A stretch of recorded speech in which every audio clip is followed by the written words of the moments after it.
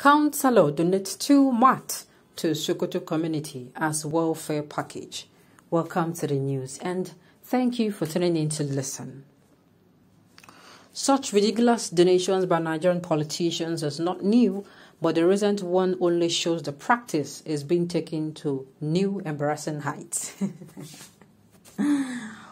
Wahala be like mad when them donate. Ha ah. But see, eh, see. It is actually not by force to donate things. I think the best way to go about this thing is this thing you're trying to donate. Even as an individual, there are times you know people give away used clothes. The people who are guilty as this man. They give away used clothes that nobody can wear. Okay, now let's focus on the counselor. Did he ask himself? If somebody wants to come and knock on my door and say, ah, I said I should bring this thing for you, maybe you're going to be needing it, would he be mad? If he wants to give somebody who is really close to him, will he give the person a mat? I think it is not by force to donate now. I don't think they placed a gun over his head to do this. So this actually is totally wrong.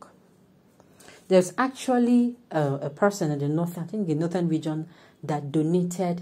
Is it not a commissioner or the Borno state government? Is it the Borno state government? I cannot remember vividly, but he gave people taxis he gave people taxes. He gave people what they call keke NAPEP. And I'm saying, if you want to talk about empowerment, please, that is the one you talk. Another one came out and I think he gave people sewing machines. And I'm saying, fine. As far as number one, the people who you give these things to, they really want to become cab drivers. Because at the end of the day, if you give anyone this cab, they will sell it off and use the money. Before you know it, the aim of that empowerment is lost. So you first of all get people who are interested. Now, did these people tell the counselor that they're interested in sleeping on a mat? you know in detail, please stay with us. A councillor in Sokoto State has donated two plastic mats to Sadada community in Kebbe local government area of a state.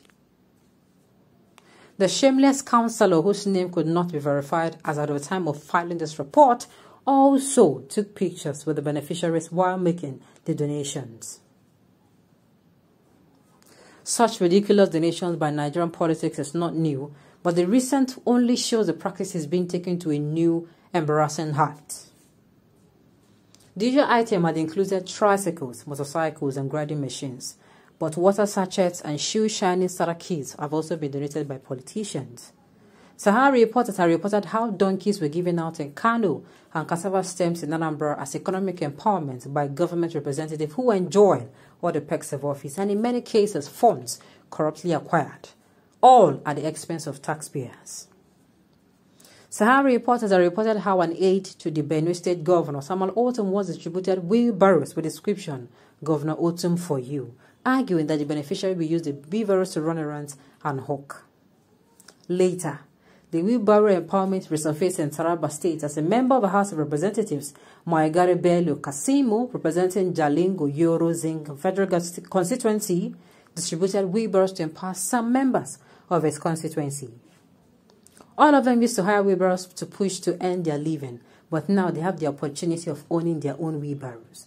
The spokesperson for the lawmaker, Sahidu, Sahidu Na Anabi, had said during the presentation, Nanabi's speech reportedly inspired the late caretaker chairperson of Nsukka government area in Enugu state, Chinwe Ugwu, to give wheelbarrows to youth in the area as economic empowerment. These are poor people who cannot afford to buy wheelbarrows but had to hire for between 200 to 300 naira per day, Ugwu has said in response to critics. Similarly, Kano State Governor Abdullahi Ganduje said he spent 208 million to empower mai shayi or tea sellers in the state by giving them items like cartons of noodles, crates of eggs, spaghetti, bread, cocoa beverage, liquid and powdered milk, brown and white sugar, nylon and teacups.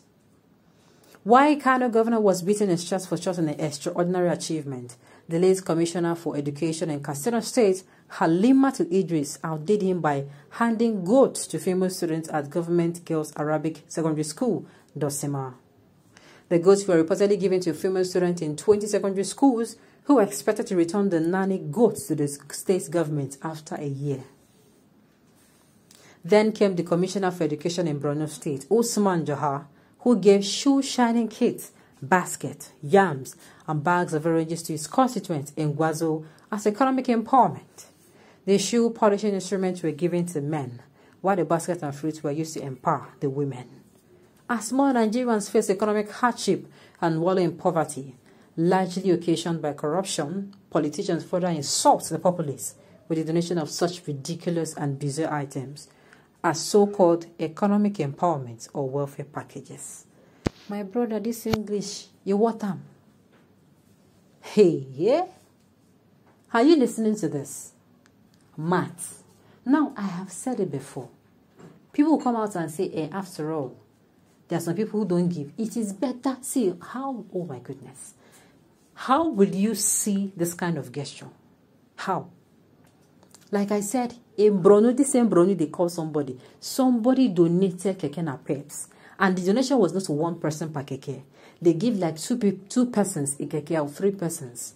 What would they do? They will share it. Maybe you do morning 9 to 1. Another person will do 1 to, you know, another, another person would. That is it. Or maybe somebody can do 9 to 2, then the other person can do 2 to. Yes. The same thing, a taxi too. Or maybe you do today, I do tomorrow. They take turns like that until some one of them is saying, have saved enough and say, you know what, I no longer, I'm no longer interested. That is the empowerment. I'm saying we're in the age where digital skills are even some of these things, as in you get people who are even really interested. Because I want to believe that the aim of empowerment is to better the person's life, right? If you just take um, wheelbarrows and give to somebody, they can sell it, get the money, and settle. The aim of the empowerment has been lost. It has. You're giving math to people. Come on now. Come on. And some people are hailing him. Just listen to this. Just listen to this.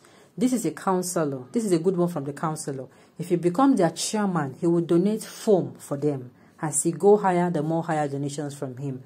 Not the size of the gifts, but the intention matters. hey.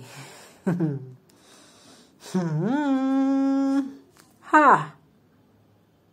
Hmm. okay.